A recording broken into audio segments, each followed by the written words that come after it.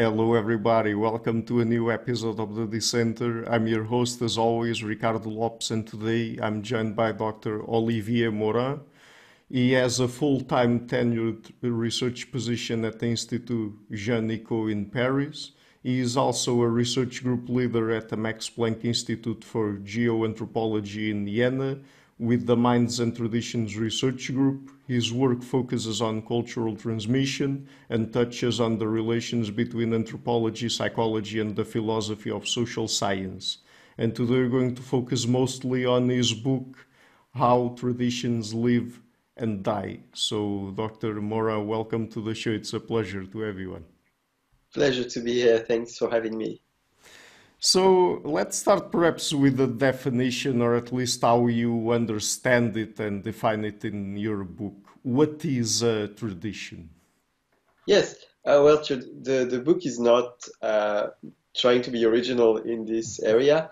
Traditions, as uh, anthropologists and uh, philosophers and, and social scientists generally have used that word for like last few centuries, are long-standing practices uh, that um, are relatively widespread inside a society and sometimes even across societies. So the key defining uh, feature of traditions is wide distribution in time and space with a special emphasis on, on time.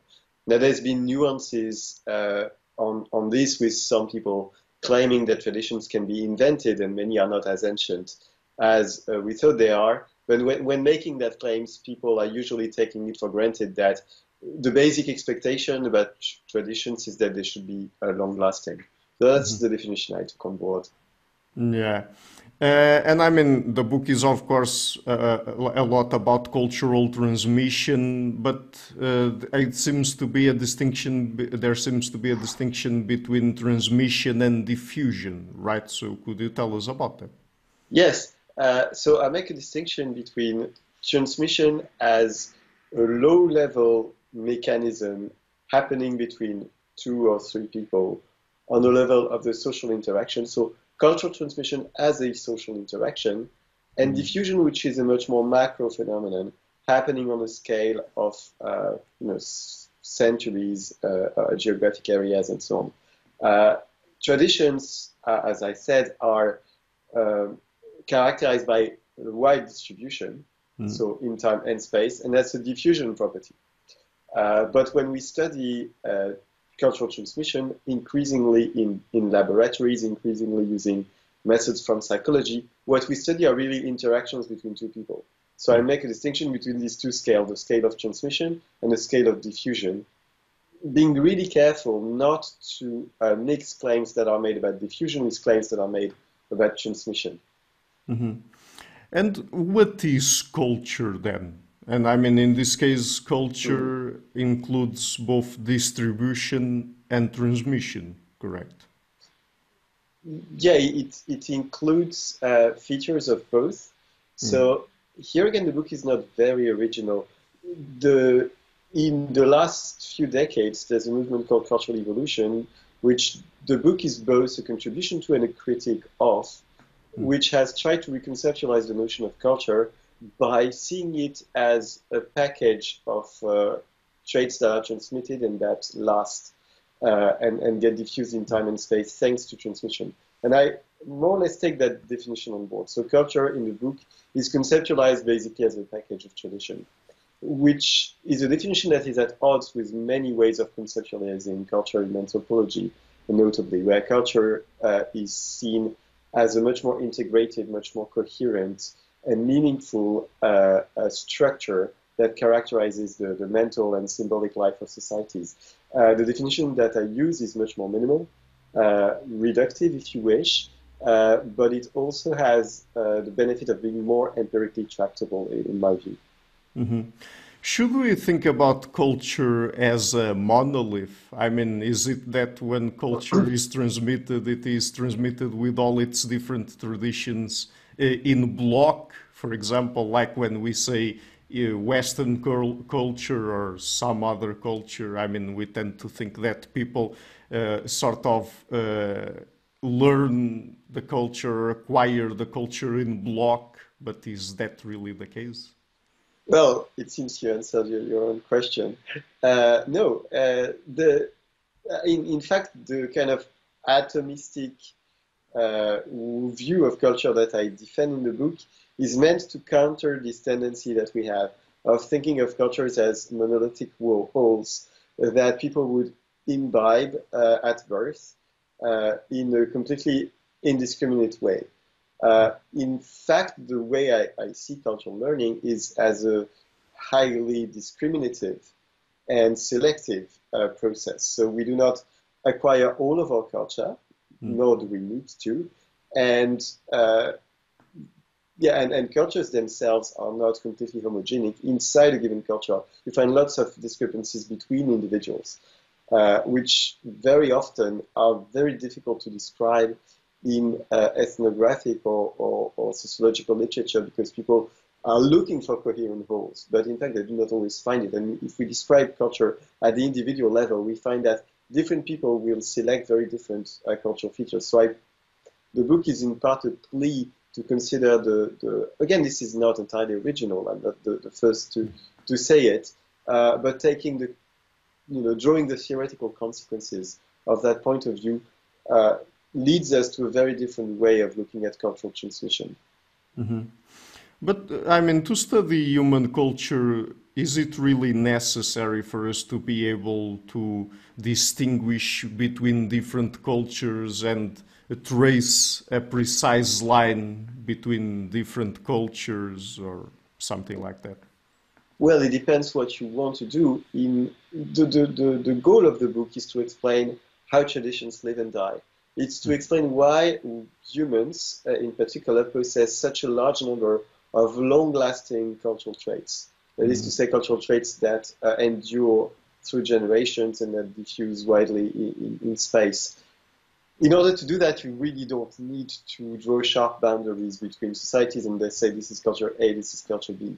And in fact, it's, it can be detrimental to do so because it prevents us from understanding, for instance, how a cultural trait can diffuse across cultures, which is the case for the majority of successful traditions.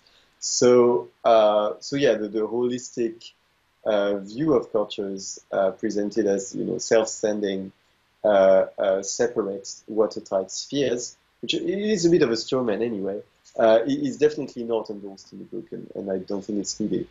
Sometimes, for some purposes, can be useful to, to schematize uh, big cultural areas, but even then, it comes with risks that uh, some of which I, I describe in the book. Mm-hmm. So, what does a quantitative approach to culture bring to the table? Oh, well, uh, lots of things. Uh, this is not actually something that the book insists on very much. Hmm. Uh, because the book is very theoretical. There's not much uh, uh, that is really quantitative, uh, in contrast to, to the, to, the, work I've done since then. Mm-hmm. But the yeah the, the, the, the, benefits of a quantitative approach are are man- manifold. Really, one of them is to be able to really measure the diffusion of, of, of traditions. Mm-hmm. so when we say traditions last for a long time, uh, well, that doesn't mean much unless you quantify how, how long is long. And this is something I try to do, for instance, uh, concerning children's traditions. So children's folklore is transmitted from child to child, and we know that these traditions can last for a long time. But how long is long, and is it much longer compared to similar adult traditions, is typically a quantitative question. But beyond that, the quantitative toolkit opened up uh, in, in the last few decades by fields like digital humanities, cultural evolution, uh, or, or, or, mainstream social science applied to cultural diffusion, has opened up lots and lots of new uh, uh areas for research, which would be a bit, a bit fastidious to list, really. sure. Uh, when we find differences between peoples, should we assume that they are always cultural? No. Uh, well, and, and in fact, nobody really does that. But there is a tendency in the literature to consider that when you study uh, two populations uh, that can be very remote and, and very different economically, socially, uh, whatever difference you find between the two uh, can be ascribed to a cultural difference. So, to take an example, there's this very famous series of experiments uh, Economic Games in Cross-Cultural Society by Joe Henrich et al. that mm-hmm. looks at uh, economic games in different societies. Uh, and that study was, and finds huge discrepancies in the results. And that study was the basis for a series of claims saying that culture drives cooperation.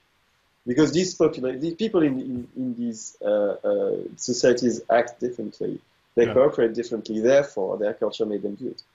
Uh, which discounts uh, all manners of concerning factors linked to uh, sociology, demography, uh, you know, economics, and so on. And uh, I, I, I, tend to side with researchers like Shakti Lamba and, and Ruth Smathy, who have uh, shown that you can find almost equally uh, important differences inside the same population, uh, varying you know, lots of different factors uh, that are not culture per se. Now, the, the obvious rejoinder to, say, to that is to say, well, whatever, uh, this is cultural, in, because culture is a, is a you know, uh, a vague concept, you can always say that economics is culture, that sociology is culture, and so on.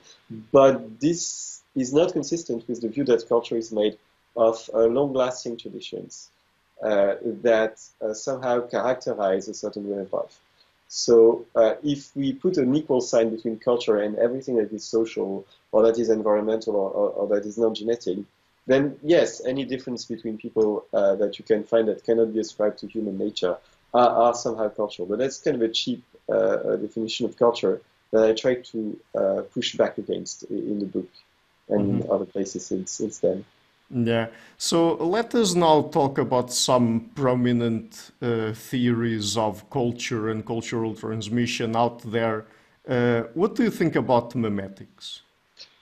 Well, it's it's a bit hard to judge memetics because it's not how should I put it? it's not really a research program that's alive right now. It's more of a slogan. So the the the, the, the idea of memetics was launched by Richard Dawkins, as you know, in, in the mm-hmm. Uh, last chapter of Selfish Gene. Uh, and then it lay kind of dormant for a decade or so. And while Dawkins was writing, there were lots of people who, uh, well, lots of people. There were uh, at least three research teams, you know, Cavalli Sforza, Lumsden and Wilson, uh, Boyd and Richerson, who and and and also uh, uh, Dan Sperber, who were trying to conceptualize culture cultural transmission, drawing inspiration from models in evolutionary biology. Mm-hmm. Uh, but memetics was not part of that endeavor. It was a distant inspiration. It was not an active player. Uh, it started to become one with the foundation of the Journal of Memetics, I think in, in the late 90s. But that was not really a success. There were a couple of interesting books by Robert Aunger or Susan Blackmore, uh, but that was that. So judging memetics in this context is a bit difficult because, uh, and I don't want to be uncharitable. There were lots of worthy contributions from the authors I just cited, but I can't really say it's a major player in, in the field right now. Mm-hmm. So, uh, a question that perhaps is also, at least to some extent, related to memetics is culture about ideas or mental representations? Um, that's a tough one. Uh, so, when when we try to study cultural transmission in a quantitative fashion, mm-hmm. as uh, looking at culture as a package of traditions, mm-hmm. we need to identify what is the the smallest unit of culture. So, how do you define a cultural unit? A recipe, a song, a way of dancing, perhaps a way of shaking hands. These are very elusive uh, objects to study. Uh, when you study the, the, the, distribution of children's rhymes or changing the shape of letters over time or, or artistic style in portrait paintings or, or all kind of things that, that I, I, studied, you always need to ask yourself, well, what is the right level of analysis mm-hmm. to, to study this? And one uh, tempting answer is to say, well, the DNA of culture is information stored in people's heads. Uh, culture is information, and that's the basic unit we're looking at. And it was, it is a tempting answer still, it's been uh, sometimes put forward by people in the field of cultural evolution uh, notably uh, the slogan being culture is information. And that was really uh, uh very close to Richard Dawkins' position in, in advocating memetics. Uh, I don't think it solves the problem. And, and in the book, I distance myself from this view, even though it would solve uh, some of the issues linked to the issue of how to individuate cultural items. I do not think it solves the problem because anthropologists are right that culture is in many ways external to our brains. And this is something that philosophers of cognitive science have uh, also highlighted. Mm-hmm. And to, to, to take a, the classic example from Clifford Geertz, uh, if you take a Bach uh, cantata uh, and you, you raise all, all external physical manifestations of that cantata and everything that's left is an idea inside a musician's head, then something important will be lost. You know, it's it's not a Bach cantata cannot be reduced to uh, a, a, string of notes uh, inside someone's head. It, it is a public manifestation. Uh, same for rituals, for instance, which are quintessentially public uh, things. So culture is in many ways external, uh, in many ways public, and we can't really erase that aspect of culture. So Dan Sperber, for instance, uh, who was um, my uh, PhD advisor, and, and the book is drawn from my PhD thesis, so he was obviously a, a huge influence and, and, still is on my work. You know, he puts it this way: you have public representations and you have uh, internal representations inside people's heads, and the two interact. Mm-hmm. That's a, a, a good start uh, in, in, in um, raising the problem. So to cut it short, I don't think culture can be reduced to information stored uh, and transmitted from one person's head to another person's head. Mm-hmm. So there are many different forms of cultural transmission that anthropologists who study culture talk about, like imitation, learning, communication, teaching, social influence. Those are some of the ones, at least, that you talk about in the book. Before we get into each of them and what might be some of the problems with them, tell us about the uh, what you call the wear and tear and the flop problems of cultural transmission? Sure. So when if you want to transmit a tradition uh, far and wide in time or space, uh, you basically have to solve two problems. Uh, the, the, the first one uh, is what I call the wear and tear problem. So the wear and tear problem is the problem of information loss that occurs during transmission. Mm-hmm. So if you uh, tell me a joke uh, and I repeat it to a third person who repeats it to a fourth, and so on and so forth. Uh, there has to be some information that gets lost yeah. uh, in each retelling. And the easiest way to look at that is to play a game of Chinese whispers or telephone, or you know, it's called by many names. It's basically a transmission chain where A transmits something to B, transmits something to C, and so on. And the reason the game is fun is that typically in such a linear chain A, B, C, D, the original content uh, gets distorted beyond recognition after mm. very, very few uh, links in the chain. Now, this is something that people studying culture experimentally in the lab have explored uh, almost to the point of saturation, uh, showing that indeed there is information deperdition. And, and, and, in a way, we've known that since the 1930s. So that's the first problem. Uh, it looks big, but I argue that it's not as important as it seems. The second problem is what I call the flop problem. The flop problem occurs if you tell me a, a joke uh, and I'm not going to repeat it, either because I'm lazy or inattentive, or maybe the joke is not that good. You, you know the problem. And the flop problem is, in my view, the, the, the main and most important problem in, in cultural transmission. And the, which sounds kind of trivial, but the problem is that most uh, research in the in the field looking at cultural transmission, the psychology and mm-hmm. comparative uh, uh, uh, psychology and anthropology of cultural transmission, has overwhelmingly looked at the first one, the wear and tear problem, thinking, you know, how can imitation be faithful enough to avoid the loss of information that occurs? How can we make sure that transmission is as faithful as possible? And as accurate as possible to avoid that. But that, what I argue is that if you uh, solve the wear and tear problem and you do not solve the flop problem, then you know the, the tradition is dead anyway. Even if it's faithfully transmitted from me to you, if I do not retransmit it, it's dead. But if you do solve the flop problem, if I if the joke is excellent and I transmit to many it to many, many people many times, in fact that takes care of the wear and tear problem. Because mm-hmm. having multiple people to learn from, having many instances of transmission, uh, is a palliative, uh, repairs uh, the unfaithfulness of, trans- of, of, transmission. So if transmission between two people is not very faithful, it doesn't matter if uh, these people have several people to learn from. Mm-hmm. So that, that's the main thesis uh, uh, uh, of that chapter in the book. And I mean, why is it? Do you have any explanation as to why is it that sometimes people retransmit the information they get? Like for example the joke and other times they don't? I mean does it have anything to do with some of the phenomena identified, for example, by Boyd and Richerson, like, for example, uh, context dependent biases, content dependent biases, uh, things related to frequency, and stuff like that. Yes, well, there, there are lots of ways to uh, look at that issue. So, most people who study cultural transmission have identified, have you know, remarked that some uh, cultural content has more potential to spread than others. Mm-hmm. Uh, and as you said, there's uh, two broad ways of looking at it.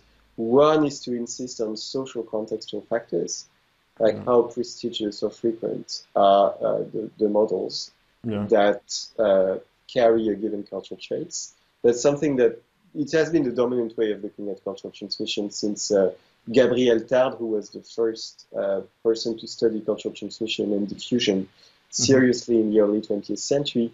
And then it, these ideas diffused into social psychology, where ideas like conformity or you know deference to prestige uh, evolved. That's one way uh, of looking at things. Another way of looking at things is to consider the intrinsic cognitive or uh, psychological appeal yeah. Uh, or intrinsic interest of cultural practices. For instance, a joke can be more or less funny. Mm-hmm. Uh, now, calling this content bias does not really explain uh, what makes it funny or not. Uh, and in fact, I, I, have argued in the book and, and also in follow-ups where I debate Boyd and Richerson's idea that content bias does not quite characterize very well uh, what uh, is important here, but I will leave that aside for the moment. Anyway, so intrinsic content properties of uh, cultural items also matter a lot. So in the book, I uh, criticize the view of cultural success that is based on social contextual factors like prestige or conformity. Mm-hmm. I criticize it because uh, I think it is based on a relatively partial reading of the, of the literature. So a couple of uh, uh, social psychology results that have been uh, overinterpreted, like Asch's famous conformity experiment, mm-hmm. uh, and that do not really translate very well into uh, real cultural, cultural transmission data. That's one reason to criticize uh, this view. Another reason to criticize it is how should I put it? Is the is the fact that conformity and prestige are intrinsically local phenomena. Mm-hmm. So if you conform to the majority, you conform to the majority around you. If you mm-hmm. conform to the local prestigious person, you conform to the local prestigious person. But what we want to explain is how traditions manage to last uh, through time and diffuse through space. And diffusing not just inside one society, but also across the very different societies where majorities might derive. So the, the, the book argues, uh, well, it was actually written 10 years ago so, and, and, and translated in 2016. So at the time, there was less emphasis on the cognitive determinants of, cultural change. Uh, I want to be totally unfair to the literature because there, there was some, but uh, I really wanted to uh, push a view of cultural success that is not just determined by social factors, it's not just about conformity, it's not just about deference to prestige, it's also about people using their brain to select cultural items that, that matter to them. And since we're already talking about that, I mean, is it really that people simply copy information transmitted by prestigious people uh, independently of context and regardless of the specific person that is transmitting it and uh, I mean uh, perhaps the the areas they want to apply that information to? So no, people do not uh, follow prestige in a mechanical way, just identifying someone who is the uh, model, the absolute model in all areas and doing exactly what they do. Uh, it's much more contextual than that, and it's much more discriminative than that. I, I think there's broad agreement on that today, even though it may not have been the case in the past. So one uh, nagging issue for the field is how uh, how specific, how domain specific prestige can be. So if you have a friend who is uh, uh a board games uh, expert, and you defer to them in all matters concerning board games, are you going to follow their choices in, in dress code? or uh, what restaurants to eat at, or, or, mm-hmm. and so on. Uh, that that kind of question is uh, relatively poorly. Um, the, the answer is relatively poorly known, but I think what we know uh, points towards a very domain-specific understanding of prestige, which is a problem, I argue, for the prestige view of cultural transmission, because the more domain-specific prestige becomes, the less explanatory it is because you need to redefine prestige every time. Mm-hmm. Uh, the caricature of that is in sociolinguistics, where prestige has been used to explain how accents spread. So, for instance, on, on Martha's Vineyard, there, there is a famous study arguing that a certain way of pronouncing words has spread from local fishermen to the rest of the population. Now, as you probably know, Martha's Vineyard is known to be uh, jet set VIP, uh, VIP uh, kind of islands where mm. you know the rich and famous reside. So it's kind of funny to to have those local fishermen spread their accents. But the explanation for this that sociologists will say, well, you know, fishermen are prestigious locally yeah. with respect to their accent. Yeah. Uh, which and and that that kind of fallacy, uh, I, I, call it a fallacy because it it it becomes uh, completely ad hoc what prestige is. And you can appeal to prestige in more or less any circumstances. That dates back at least to, to, to the days of Gabriel Tarde. So uh, remarked that the Christian religion had progressed from slaves and women to uh, the emperor of, uh, of all the universe. So you, you, can't be, you know, you cannot be lower in prestige than a slave uh, uh, or a woman slave in, in, in, ancient Rome, and you can, can't be higher, of course, than the demigod that's the emperor. But, you know, cultural transmission flowed that way. So how, how come? Well, it's because there was local prestige due to the religious special value of it. So, so you know, the, the kind of uh, ad hocness that I think uh, is plagues the, the, the, the, explanations of cultural success based on prestige since the beginning. I'm not saying prestige cannot be used in a way that's not circular, but it's, it's a risk. Mm-hmm. So, another form of cultural transmission that anthropologists refer to, and I mentioned when I introduced this part of the conversation, is teaching. Does it really yes. play an important role in cultural transmission? Uh, so, teaching is, uh, is a notion that uh, emerges first in a context of comparative psychology where people were asking, do, do non-human animals teach? Uh, and it's still an open case, in fact, uh, whether animals like meerkats uh, uh teach their young. So teaching in meerkats is alleged to happen because the, the meerkats will give their young weakened scorpions to play with. So they remove the sting or, or, or they just smash them so that they are semi-unconscious and it becomes easier for the, the, the young meerkats to, to play. So that kind of behavior, you know, it has elements of intentional cultural transmission, mm-hmm. which, uh, which means the word teaching has been used. Now, it's also used in ethnography in a very, very different way, uh, denoting the, let's say, uh, explicit verbal and institutionalized nature of cultural transmission. So, you know, we, we I, you know, I will gather the, a few children of the village around me and I will uh, tell them about such and such a thing that they have to know. Mm-hmm. Uh, which in fact is, is, is quite rare, uh, that kind of institutionalized explicit uh, uh, cultural transmission. Now, there are lots of ways to define teaching in between these two extremes, and this makes for a very heterogeneous notion, uh, to say the least. That's why I try to uh, uh, cut through the, the, misunderstandings that have occurred uh, due to this variety of meanings. What I think really matters for human cultural transmission is ostensive communication. So ostensive communication is a way to transmit information. I did not say culture, but information that may or may not be cultural, mm-hmm. intentionally, overtly, uh, in a way that is uh, mutually recognized as intentional. So pointing being a, a typical case of that. Uh, I don't think it is specific to culture.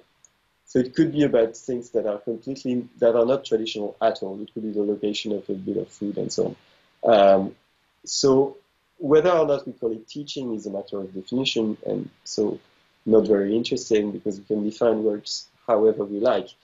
But uh, I think that this is really the, the, the, engine that cultural transmission works on in humans. And I also think it is not specific to culture. Where does this, this leave me regarding uh, your question? Uh, where does teaching matter to cultural transmission? Well, it depends how we call it. Uh, there is a tendency to call teaching uh, things that to me look like ostensive communication. So just you know the, the, kind of communication humans engage in, which obviously involves language, but is not limited to language. You know, pointing again qualifies. If people want to say that's teaching, that's fine by me. And if they want to say that teaching, in so defined, plays a key role in cultural transmission, that that's also fine. Yeah. So another big one uh, I mean, another big form of cultural transmission people talk about is imitation. And there are anthropologists, developmental psychologists, cognitive psychologists that say that we are compulsive imitators, and particularly children are um, over imitate. Is there good enough evidence for that? Well, these are two questions. One is about the evidence for over imitation, and the other is about its putative role for cultural transmission. If you allow me, I will focus on the on the second question. Okay. Um, so you, you, you reminded me of this distinction between the wear and tear problem and the flop problem. Mm-hmm. Imitation is typically a, a, cognitive mechanism that's supposed to solve the wear and tear problem by making transmission extremely faithful. Uh, you know, A imitates B with high precision, and that means the loss of information between A and B is uh, limited. And mm-hmm. as a result, uh, traditions that are copied through faithful high fidelity imitation uh, uh, last more. In fact, this is neither necessary nor sufficient. Uh, and it's been shown not just by me, but also by models by uh, Magnus Enquist and, and, colleagues that one cultural parent uh, makes no culture regardless of the, the faithfulness of imitation. So faithful imitation helps, all else being equal. It's better to have high fidelity imitation between uh, uh, the source and the target, but it's not sufficient in itself because if the content is not interesting, uh, if there is no uh, motivation to spread it, if the flop problem is not solved, then this won't, uh, the tradition won't last and uh, it is uh, not uh, necessary either because if you have many, many, many uh, models to learn from, even if the transmission is not very faithful each time, uh, then you will still have uh, long-lasting cultural traditions. Now the problem is that people, when I say that, often do not. let me phrase that. The the problem with this idea is that it's very hard to distinguish imitation as a cognitive mechanism uh, underlying transmission between two people, and imitation in a much more vague sense that just means cultural transmission. So the way the word is often used in literature is that imitation is cultural transmission. There is absolutely no difference between the two. Uh, and cultural diffusion is based on imitation almost by, by definition. Uh, I'm caricaturing, caricaturing this a little bit mm-hmm. uh, because now there's a, a, an entire taxonomy of subsets of uh, uh, imitation, emulation, and so, and so on and so forth. Uh, where, where, where, was I? sorry. I kind of lost track of my thoughts here.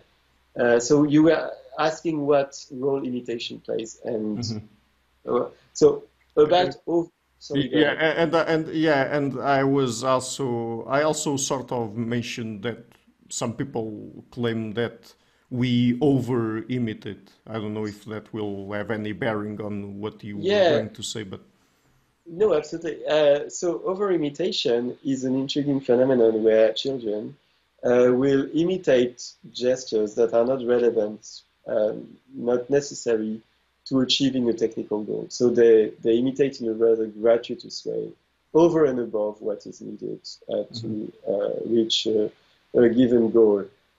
It's an intriguing phenomenon. Uh, what it is not is a cognitive mechanism.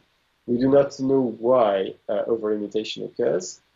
And people who study it are actually fairly open to the notion that there could be several things that cause uh, over-imitation behaviors depending on the context. Mm-hmm. So it's not like we have discovered one cognitive mechanism that is uh, the engine of cultural transmission that, that would characterize cultural transmission in, in, humans as opposed to other animals. I think even people like Andrew Whiten would agree that this is not what these studies show. So to me, it's a phenomenon in search of an explanation, an interesting one, but it is not the answer to uh, the question how traditions live and die. Right. So um, when it comes to conformity, uh, are there specific cases where we follow other people and conform, and others where we rely on ourselves? And I mean, are there criteria that people tend to follow to decide on that? Yes, uh, so conformity is not a mechanical uh, rule that we would follow every time. Uh, you know, thinking, you know, what am I having for lunch? Let's look at what other people are having and, and follow the majority. Uh, it never works that way. Uh, so, in fact, the, the notion of conformity again is uh, not homogeneous. There are many different interpretations the dominant interpretation in, in, psychology was Solomon Asch's conformity experiment, where uh, a participant in the experiment is confronted by an assembly of uh, subjects who are all confederates of the experimenter. So they are they're all in on uh, the the secret of the experiment, which is that everybody is going to give the wrong answer to a very basic factual question and then they're going to observe whether the participant uh, aligns with the unanimous uh, uh, group uh, by giving the wrong answer to. So here what we have is a unanimity effect, maybe not conformity, uh, but unanimity. So it's really conforming to the unanimity of participants. Now, in cultural evolution, the way conformity has been uh, uh, conceptualized is more quantitative and frequency dependent than that. It's the notion that the probability that you uh, adopt a cultural trait depends on the frequency of that trait in the population. Mm-hmm. But this is not what the social psychology canonical experiment shows. Uh, because in, in this experiment, it's like 100% uh, versus you know, uh, uh, everybody giving the, the, the right answer. So whether or not people are sensitive to frequency over and above the fact that frequent traits are more easy, easy to encounter, and you're just more likely to pick them up because you're more likely to encounter people that have them. Whether we have that sensitivity, that sensitiveness to uh, the trait frequency is still an empirical question. There are re- um, uh, experimental results on both sides. Uh, so in, um, in a couple of review papers, one with Hugo Mercier and another with a group of co-authors, including uh, Krist Vaesen, uh, Pierre Jacquet, and Alberto Acerbi, we consider the, the, the, question how good we are at, at, integrating different sources of information. Because that's what it boils down to in the end. You have several models that perform a behavior, and you have to choose whether or not you are going to imitate them. And if some of them do A and the others do B, you know, how do you how do you weigh uh, those different uh, um, those those different sources uh, of information uh, regarding their number, regarding uh, uh, how independent they are, and regarding also your own opinion about the value of A and B. so the, the, the traditional assumption in cultural evolution is that we disproportionately copy the majority. So if it's uh, 51 versus 49, we are like 60% likely to uh, uh, follow the 51%. We have the majority bias, which again is a modeling assumption, very much uh, quite questionable, empirically speaking.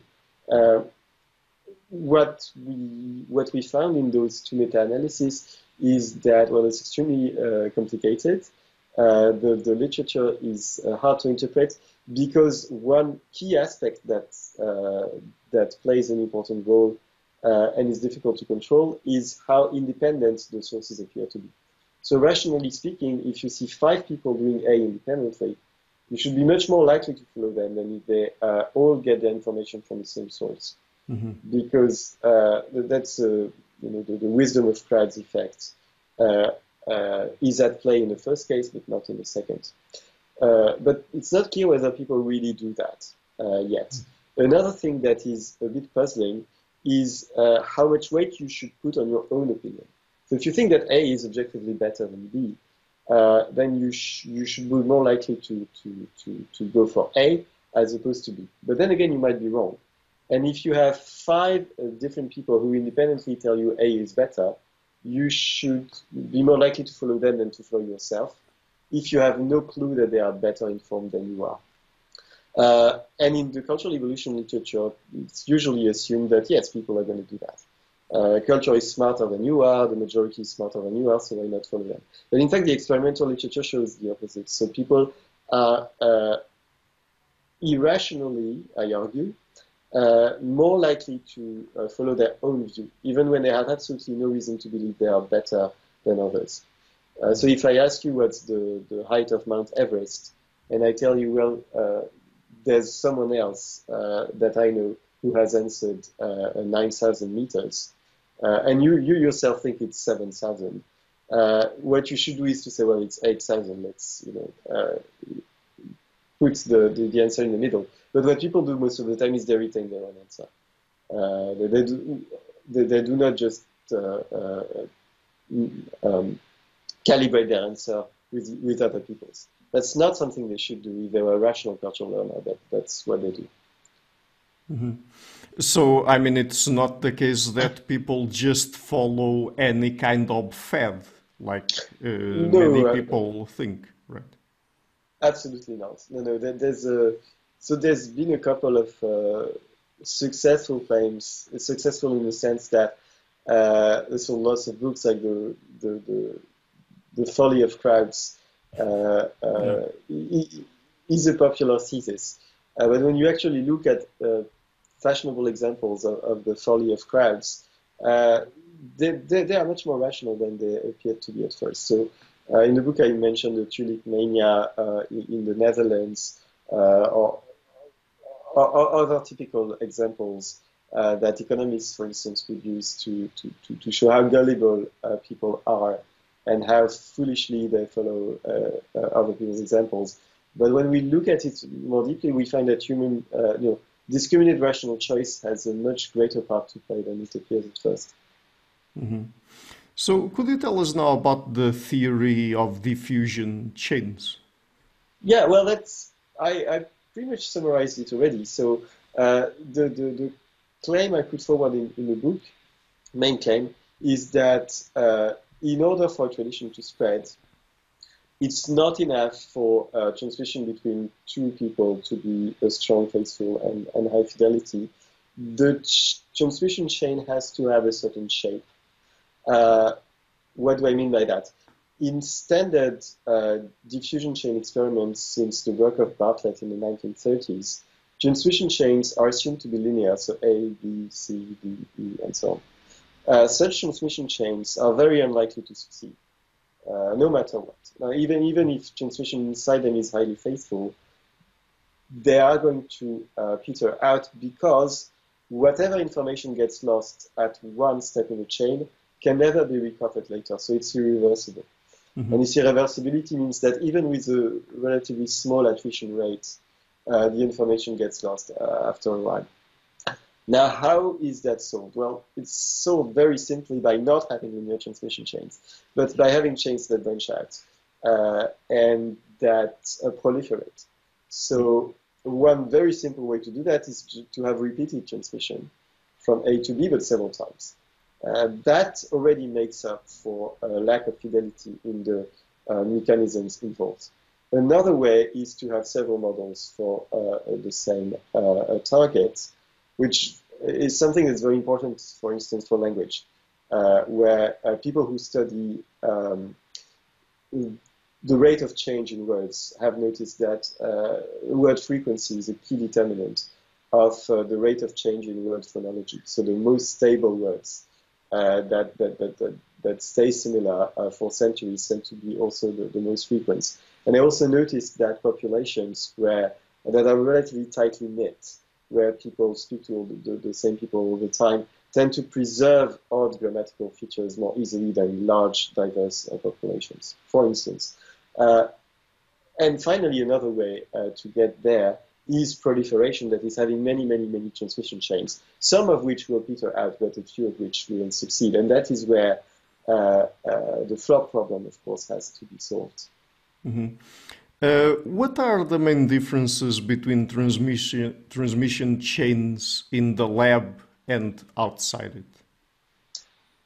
Well, that the answer to that question is somewhat different today as it was when I wrote the book because there's been a lot of progress, I think, in uh, building realistic uh, transmission studies, including uh, some of them in the WAG. Social networks uh, are a big help for that, but not just social networks. There's been there's more imagination in, in this field, which is normal because there's been a, an explosion in, in the number of, uh, publications.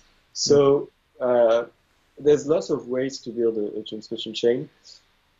The, the main difference that we cannot uh, yet uh, uh, do anything about between experimental transmission chain and real life transmission chains is, of course, time. So real life transmission chains uh, last for centuries, and then there's obviously no way to, to replicate that. So when we study real uh, cultural phenomena, real in the sense that we do not create them, uh, but they already they're already there. Uh, we are looking at the outcome of, of centuries, sometimes millennia of transmission. And that's something we really cannot uh, get at in the lab, which is why we need alternative methods like uh, quantitative cultural history or, or models to, to, to, investigate that. Yeah. So, um, in the book, you say that cultural success has to do with two main ingredients accessible individuals plus attractive traditions. Could you explain this?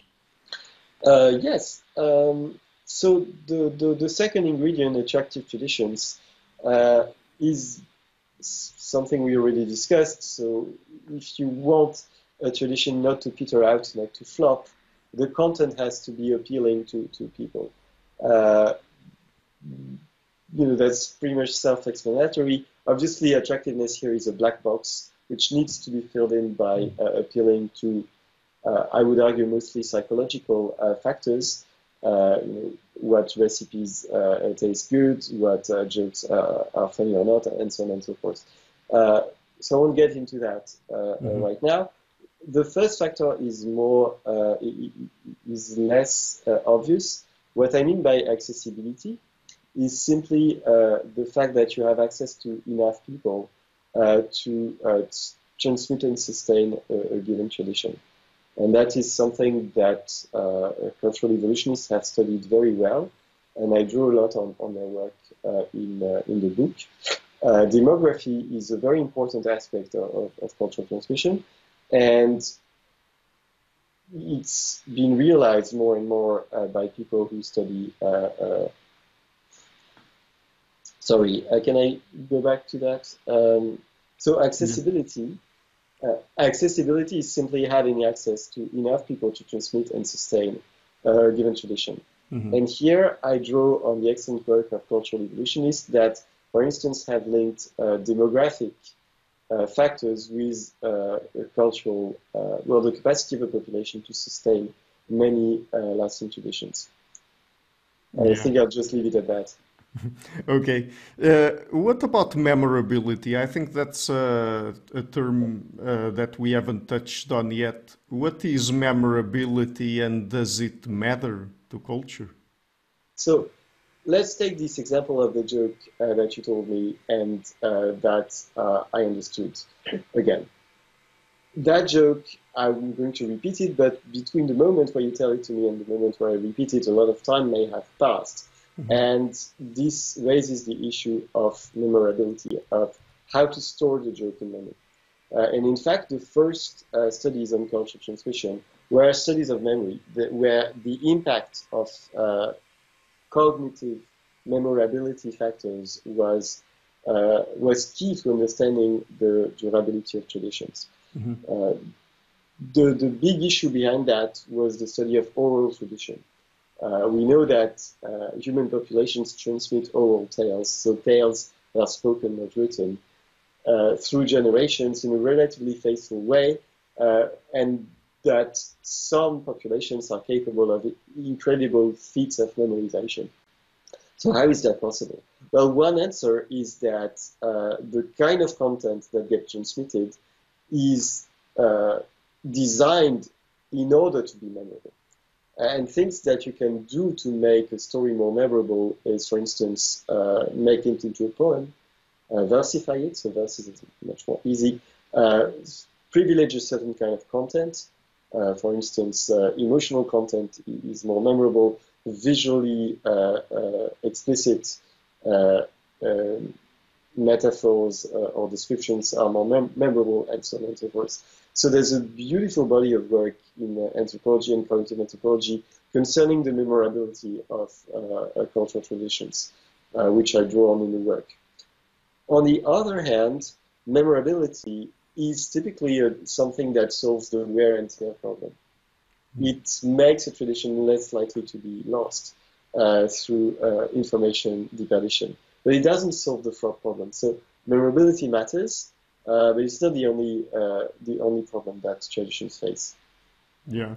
Uh, we haven't talked about transmission, uh, cultural transmission between generations and inside -huh. a given generation yet. So, I mean, is it important to distinguish between the two, between transmission inside a generation and between different generations?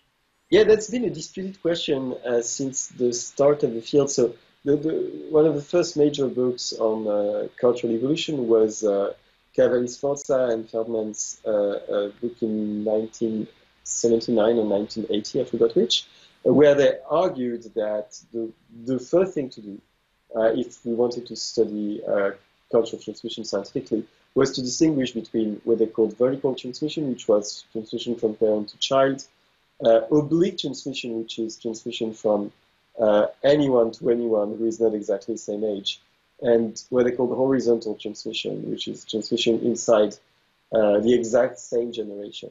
So in their models, uh, horizontal transmission could occur between people who are individuals who are exactly the same age, uh, which of course is never the case in uh, in real life. There's always a tiny, at least a tiny little lag, and sometimes much more. Um, and they, what they showed was that horizontal transmission cannot stabilize traditions beyond one uh, generation, so it should be relatively ineffectual, and people should learn from their parents.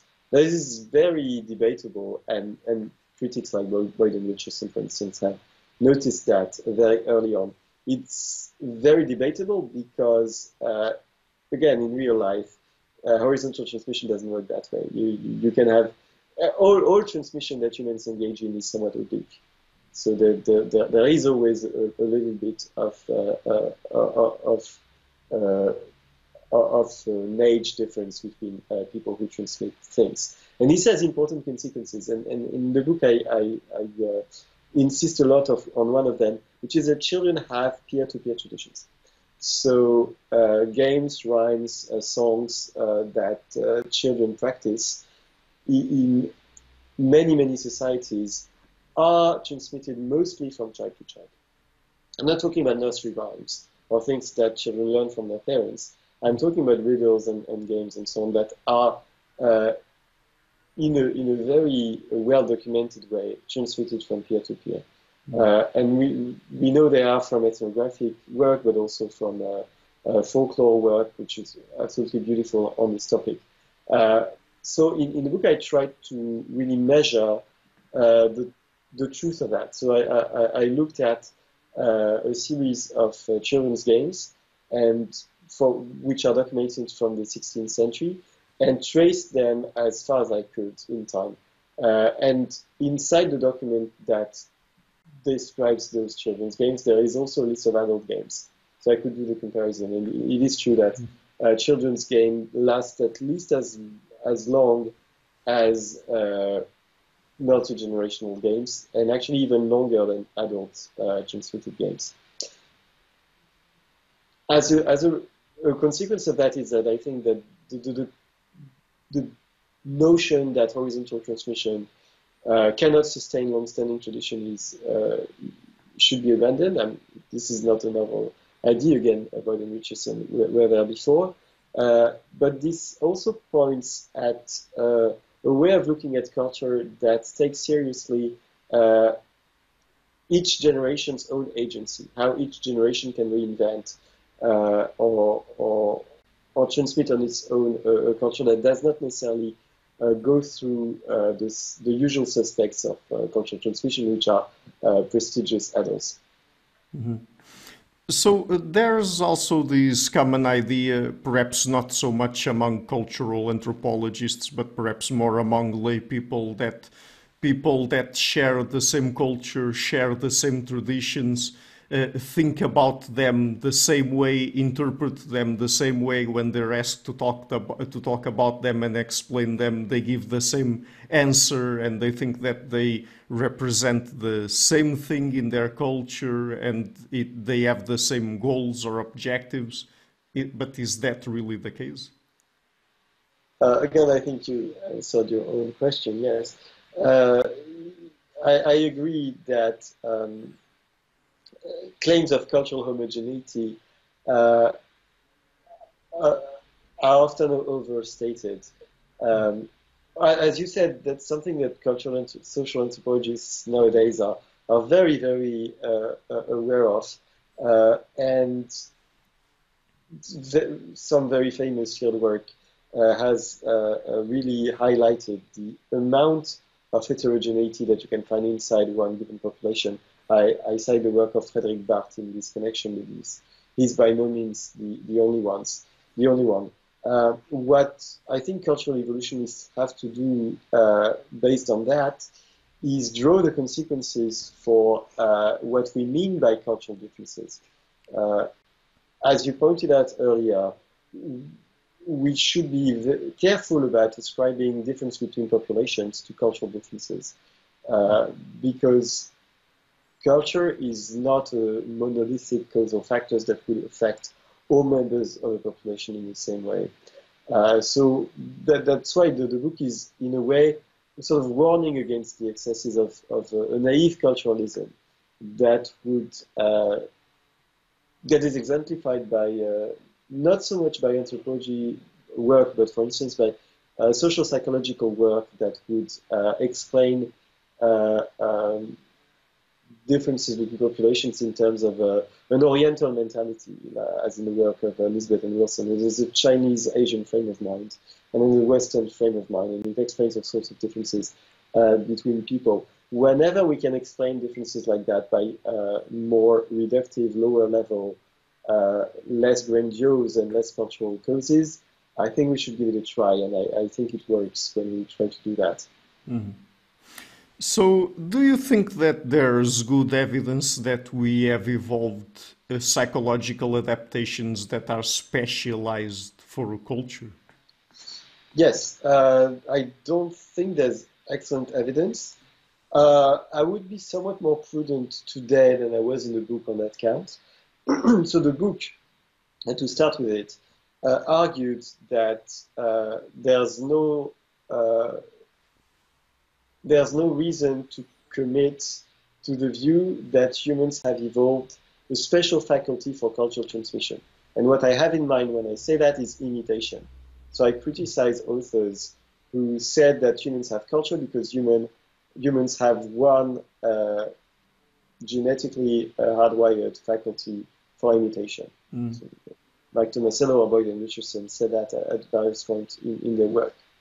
Uh, which and, and it's not absurd to, to think that uh, because as you said there's work on other imitations suggesting human uh, imitation is especially faithful uh, because there is uh, the, the, the, modeling claim that all else being equal faithful transmission makes for longer more stable traditions that, that is also true. So it's not a, a straw man nor is it a stupid idea but I do not think that uh, calling for a special domain-specific adaptation uh, that would that would evolve for culture is necessary. The reason I don't think that is because uh, a capacity for communication uh, does all the work that a capacity for imitation would do, and then some.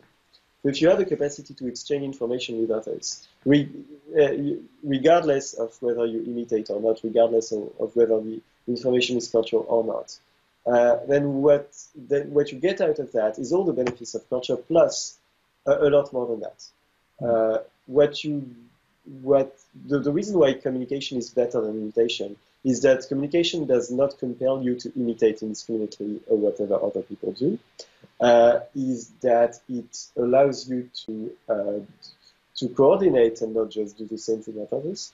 So if we communicate uh, around a certain task, we uh, may end up doing uh, you you doing A and me doing B, and we don't have to imitate each other, and so on and so forth. So uh, so that the, the, basic critique of imitation led me to this claim that there may not be uh, a, a, human adaptation to culture.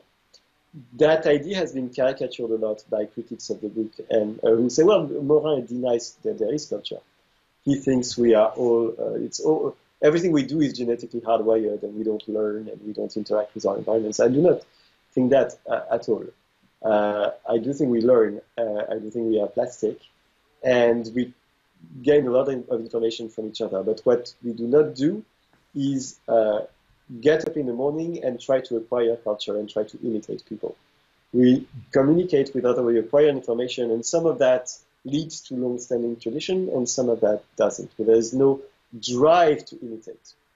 To put it in the words of Kim Sterelny, who reviewed the book, uh, and, and, I really like the way he puts it, uh, human culture is driven by mechanisms that are sensitive to content, but indifferent to fidelity.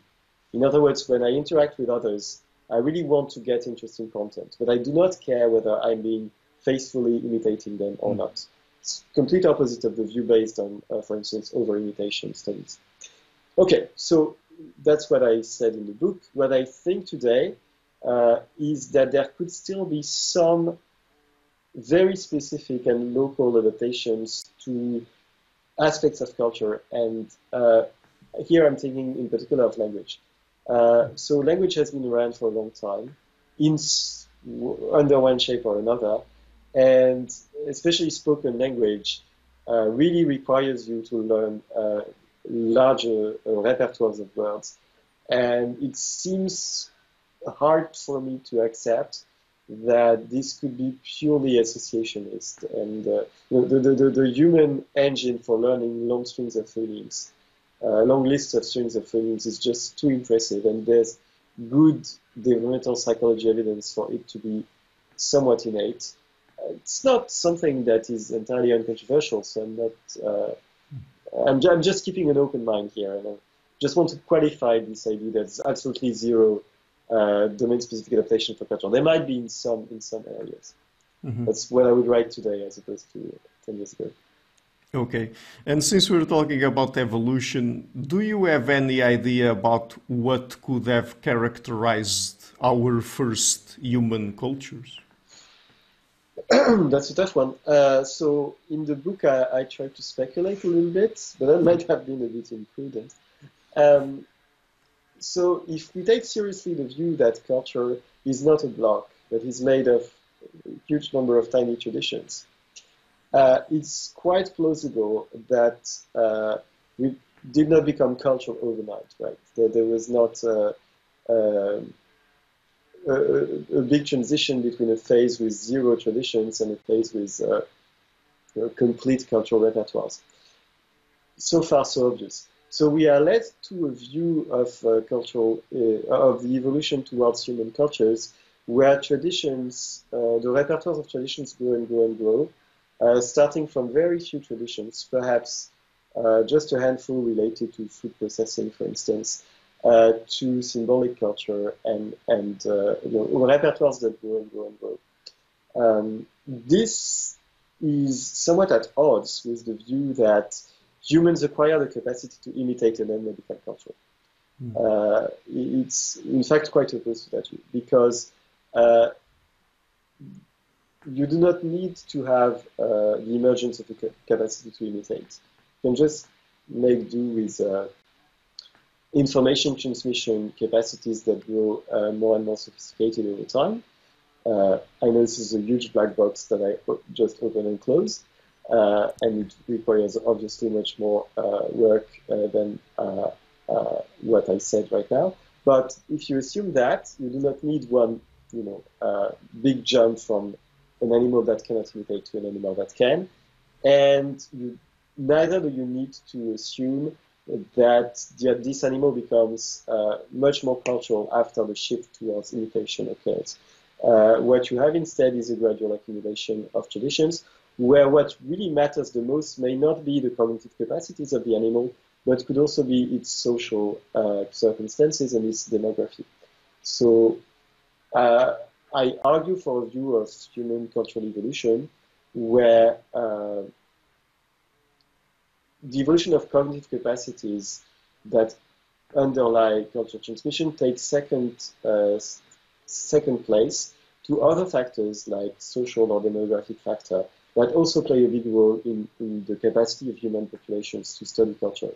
Mm-hmm. Now, if you take that view, it means that we did not become cultural overnight, but there could also be regressions because demography changes, social structures change, and so the population's capacity to sustain uh, traditions uh, changes as well. So we are not intrinsically, uh, in that sense, a very cultural animal. We, we've been more or less cultural in, in various stages of our evolution. And we can totally imagine uh, Homo sapiens with exactly the same uh, kind of innate cognitive uh, hardwired capacities that you and I have, with very, very different cultural um, levels of culture. Hmm. in the book, I say somewhat provocatively, we can imagine humans without culture, which critics have immediately interpreted as saying, you know, again, Morin denies culture. he thinks it doesn't exist. There's, it's all hardwired. Uh, again, it's not the, the point I wanted to make. The point I wanted to make was that uh, the basic cognitive makeups of human is not an adaptation to is not made of adaptations to culture, and the amount of culture it produces varies a lot depending on, on circumstances. Mm-hmm. And what makes human culture different from the culture of other animals? It is a matter of degree. So I uh, I am sympathetic to the view that non-human animals have traditions after a fashion. So uh, again, a tradition, uh, the way I define it is is, uh, is uh, behaviors that get diffused through transmission uh, relatively widely in space or in time or, or, or both. now, I am sympathetic to the view that non-human animals have traditions in that sense. And I'm relatively uh, relaxed about uh, the issue whether uh, the mechanism that sustains these traditions is really uh, uh, imitation or emulation or whatever. Because again, I don't really think that uh, the amount of faithfulness that occurs during learning is important at all. So I know there's a lot of debate in comparative psychology on that issue, but the book invites us to be much more relaxed than we are and not try too much to uh, to spend time on the taxonomy or different learning modes. No, this is not imitation system, it's enhancement. I don't know what it might be. Uh, emulation instead and so on. Because at the end of the day, what matters is, uh, is the stability of the traditions themselves. Now, having said that, uh, there is still a fair amount of debate on whether these traditions are cultural at all, meaning that they could be reinvented by individuals in favorable circumstances without any social input. And this would mean that they are not cultural by my definition. Uh, people like Claudio Tennie have been very, uh, have very skillfully defended that idea. So I'm, I'm agnostic about that. I don't. Uh, uh it could lead me to revise my uh, some of my views about uh, non-human traditions. On the other hand, his argument is about certain ape traditions, not all animal traditions that have been studied. So to answer your question, uh, the difference between human and non-human uh, animals uh, for culture is one of degree. Uh, we do not need to assume that humans have something special in their heads that make them the cultural animal par excellence, uh, and that would explain the, the, the, richness of human cultures. Uh, it's it's much more gradual than this. Mm-hmm. But, but is culture rare in the animal kingdom? Uh, yes, fairly so. If you consider how many animal species there are and how many genuine accounts uh, of uh, um, cultural behaviors have been found. Uh, again, uh, uh, to me, culture is made of traditions. So mm-hmm. if if if a fruit fly imitates the mating behavior of another fruit fly, it's interesting. It's not culture uh, because it does not diffuse. I mean, may, maybe it does, but that's an empirical empirical issue. Uh, so I, I, do think it's fairly rare. Mm-hmm. But I mean, doesn't it have some uh, clear evolutionary advantages? So, and if so, why is it that it is so rare? Mm, so learning uh, has evolutionary advantages. Learning from others has evolutionary advantages in certain species under uh, certain circumstances. Uh, having uh, long-standing traditions may or may not bring evolutionary advantages depending on how fast the environment changes. That's something that Boyd and Richerson have very convincingly argued. Uh, culture is not for every species. Uh, if you consider the life cycle uh, of humans, it's it's fairly atypical. You know, we have a slow uh, life history, so to speak, compared to uh, flies, uh, for instance. So I don't think culture is an evolutionary silver bullet, and, and every animal should have it. Okay. Uh, and what do you think of the concept of cumulative culture, at least as it is usually presented? Well, I don't know how it is usually presented because uh, there's a fair amount of disagreement on how to even uh, operationalize the concept the notion of cumulative culture has uh, um, has had lots of different incarnations. Uh, one of the first ways it was proposed was was to was in order to uh, contrast uh, traits that are that that rely on learning, but that do not form lasting traditions uh, with genuinely lasting traditions that uh, rely on imitation. Uh, the, in the 90s, Boyd and Richerson did uh, this paper, why culture is common but cumulative culture is rare. And basically, they, they, they argued that uh, truly lasting traditions only exist in humans because humans imitate.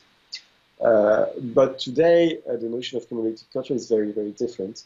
well, at least for some people, and it refers to something like gradual progress, the capacity to gradually improve on a given tradition through time.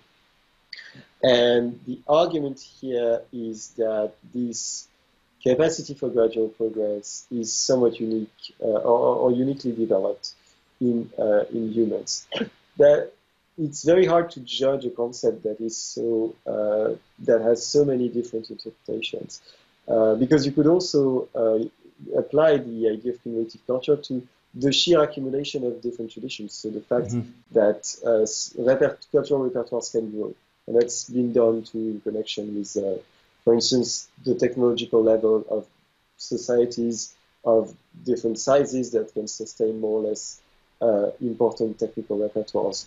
So, bottom line is I don't really know what cumulative culture is.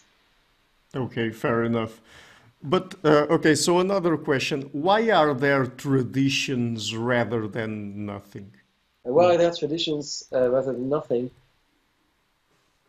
It's uh, ah. Sorry, I'm gonna have to think about that one for a while.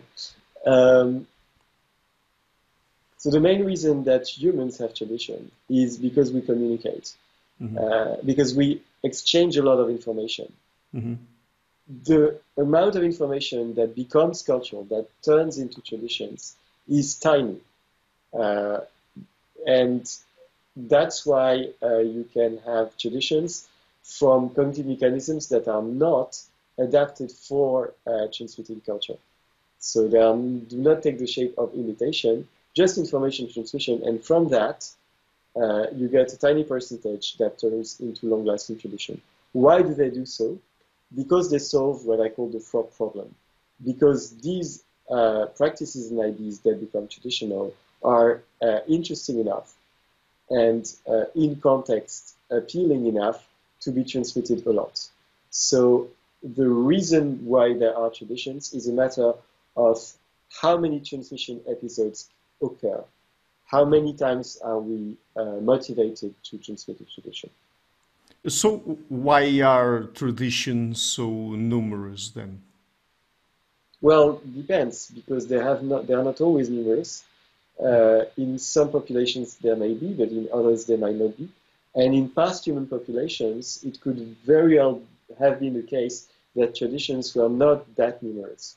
So uh, the the question, the answer to your question, uh, has to be uh, has to consider factors like demography and social structures that make it possible for the population to sustain a large number of traditions. And mm-hmm. I would argue that there is nothing intrinsic in the, the you know, human innate baggage and, and genetics uh, that we have many traditions. That, that's not in our genes. There could be uh, humans uh, that have the same cognitive capacities as we do and have a relatively small number of cultural traditions. Mm-hmm. So, with the kind of uh, approach and framework you present in the book, how would you say invention and innovation occur? well, uh, that's that's tantamount to asking how does behavior work because innovation is a very broad category that encompasses anything that is not fully uh, learned from someone else. So why do people behave? Why do people solve problems? Why do they uh, create uh, novel behaviors? That's the general question of cognitive science. I don't think there is uh, a productive way of studying innovation uh, on its own without studying cognition and behavior. Mm-hmm. So, going back to the idea that cultures are not monolithic uh, what does that tell us about the extent to which culture influences human nature? Because there's a big debate around that. I mean, are we really more psychologically similar or dissimilar after all? I tried to resist the framing uh, that pits nature against culture mm-hmm. um, because it's not a zero sum game. Uh, take uh, language, for instance. So obviously, well, obviously, nothing's obvious in that area, but uh, humans have some uh, uh, specific skills that are unique to the species that make language learning easier. I'm not even committing to any precise mechanism, but I think everybody agrees it's much easier to, to, to well, not everybody. it's nothing's uncontroversial, but uh, most people would uh, agree that it's much easier to teach uh, language to, to a human child than to, to most other animals. Uh, now these, uh, and, and, for reasons that are not just uh, due to socio-affective factors like the fact that we interact with babies more, but also to cognitive factors, so something that's inside people's heads. Now, this innate like baggage that allows us to uh, acquire language obviously interacts with enormous cultural inputs. And I do not uh, agree with the uh, sort of simplistic caricature uh, of uh, um, generative linguistics that would say it's, or you know, language grows in the mind and is not uh, uh, sensitive to the quality or quantity of the input people receive. But is it really helpful to frame the question that way as like how much is from uh, the social input and how much is for is from uh, the cognitive structures. In fact, uh, there there is a lot of interaction between the two, so that the input you get gets transformed and enriched uh, to an enormous extent by your cognitive expectations, uh, and and it's you know, a mutually beneficial relationship between the two. Uh, so it's like asking whether water or sun makes plants grow. It's just obviously both are necessary, but there's no uh, um, uh, no, no, no real sense in which one is more important than, than the others. Both are limiting factors. Uh, so when two things are limiting factors, asking whether A matters more than B is just uh, um, not a productive question. And it's especially uh, unproductive when it turns into a turf war between uh, anthropology and, and other sciences where someone's waving the flag of culture and others are, are waving the flag of uh, uh, nativist views of, of, human cognition.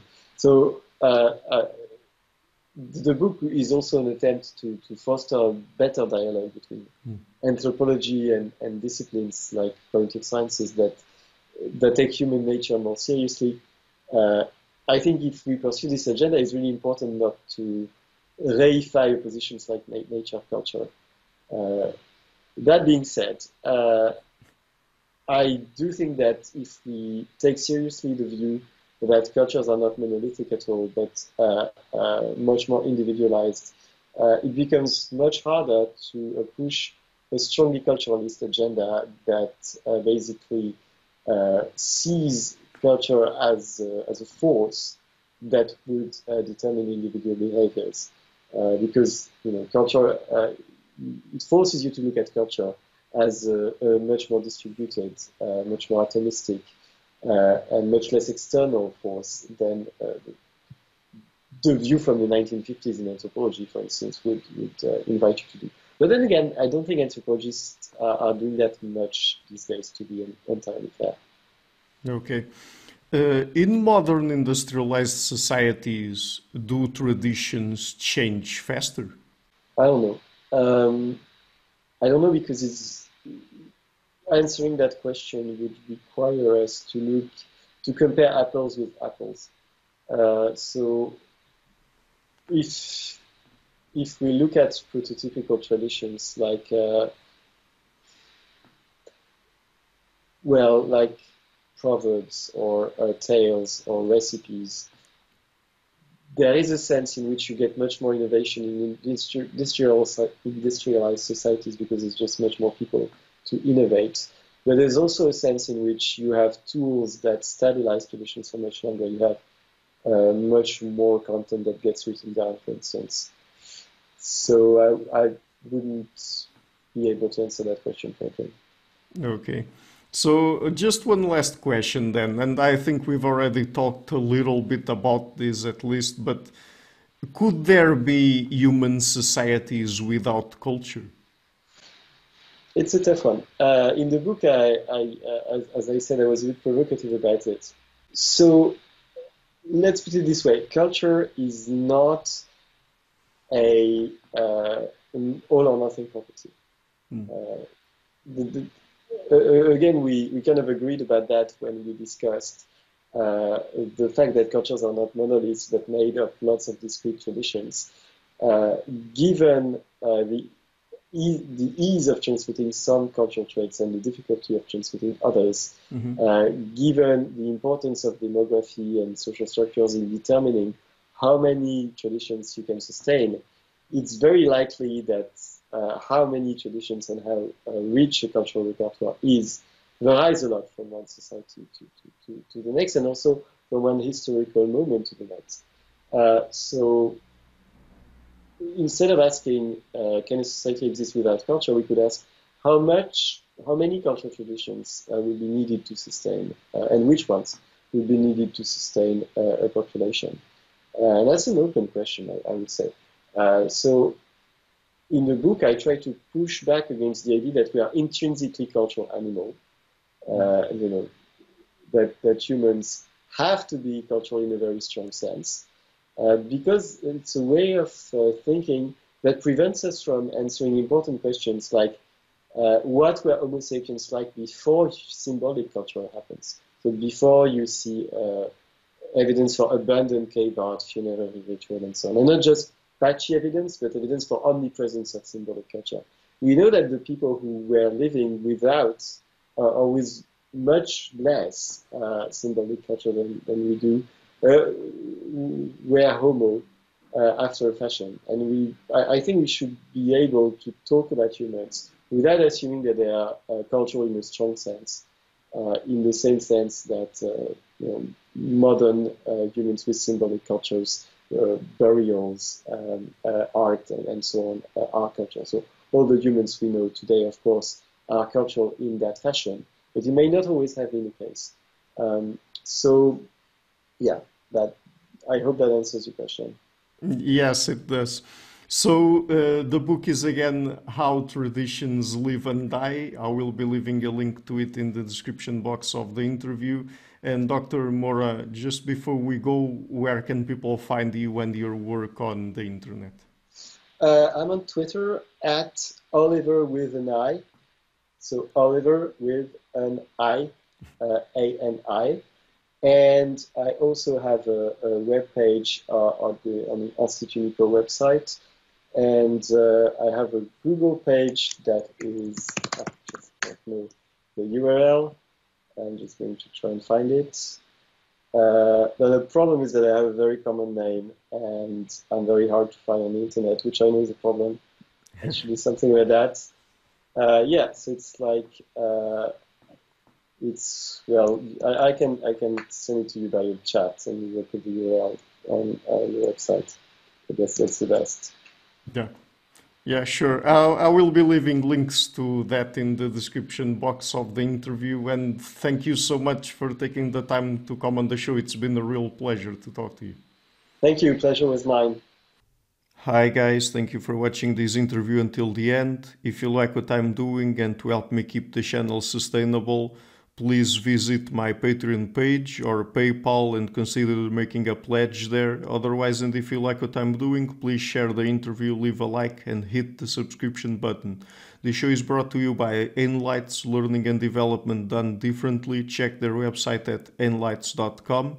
I would also like to give a huge thank you to my main patrons and PayPal supporters Karen Litska, and Blanchett, Parago Larson, Lau Francis Ford, Hans Frederick Sunda, Ricardo Vladimiro, Craig Healy, Adam Castle, Olaf Alec, Jonathan Wiesel, Jacob Klinkby, Matthew Whittingbird, Arno Wolf, Tim Hollesy, Enrique Alenia, John Connors, Paulina Barron, Philip Force Connor, Connolly, Jerry Mueller, Herbert Gintis, Rutger Voss, Bo Winegard, Rebecca Newberger Goldstein, Dan Demetriou, Robert Windaga, Rui Inácio, Arthur Coe, Zup, Marco Neves, Colin Holbrook, Susan Pinker, Bernardo Seixas, Pablo Santurbano, Simon Colombo, Jorge Espinha, Phil Cabana, Mark Blythe, Roberto Inguanzo, Michael Stormir, Eric Neumann, Samuel Andreev, Tiago Nunes, Bernard Dugny, Alexander Dunbauer, Fergal Cussen, Evan Bodrenko, Hal Herzog, Don Ross, Jonathan Librant, Oslin Bullet, Nathan Nguyen, Stanton T, Samuel Correa, Eric Hines,